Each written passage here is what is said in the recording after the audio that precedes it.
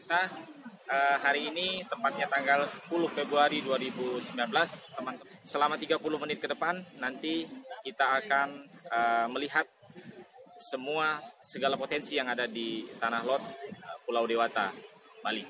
Yuk, ikuti.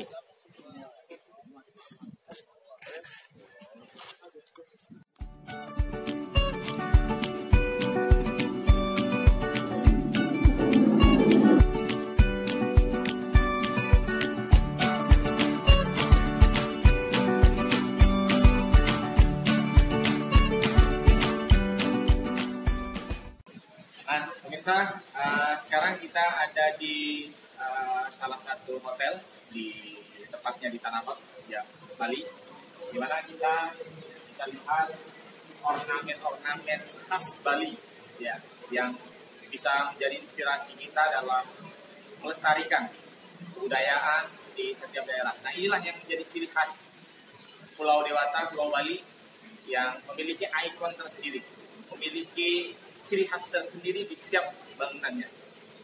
Ya, kita akan lihat selanjutnya.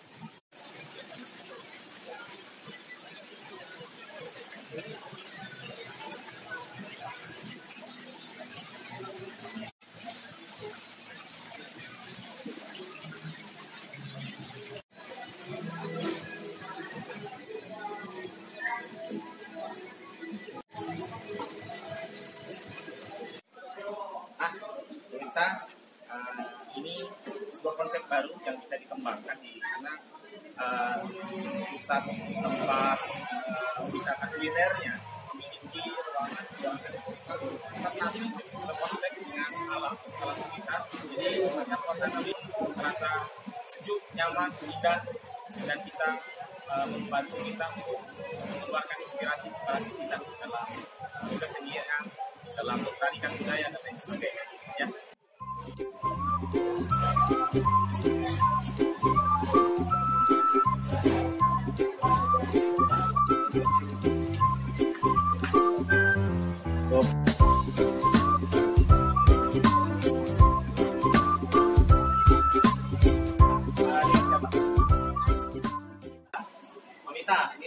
lihat-lihat nih di seputaran tempat uh, wisata kuliner yang ada di uh, Kurnia Jatim ya. Nah, saya tadi lihat ada beberapa ornamen yang memang menjadi ciri khas Bali di sini. Tetapi di sini ada di dalam setiap ruangan ada konsep hijau, ada tanaman-tanaman hidup semua. Nih, apa nih maknanya? Uh, maknanya gini loh Pak, di sini kan temanya persawahan. Makanya kita di sini menanam banyak tumbuhan hijau itu biar asri gitu loh Pak. Suasananya biar sejuk, hijau,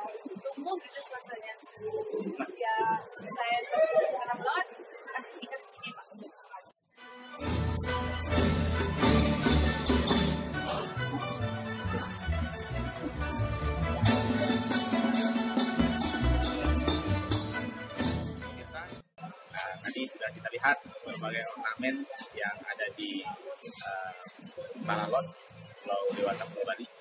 Nah, jadi mudah-mudahan apa yang sudah kita lihat ini akan menjadi inspirasi tersendiri buat kita. Ya, terima kasih. Sampai jumpa. Sini sini.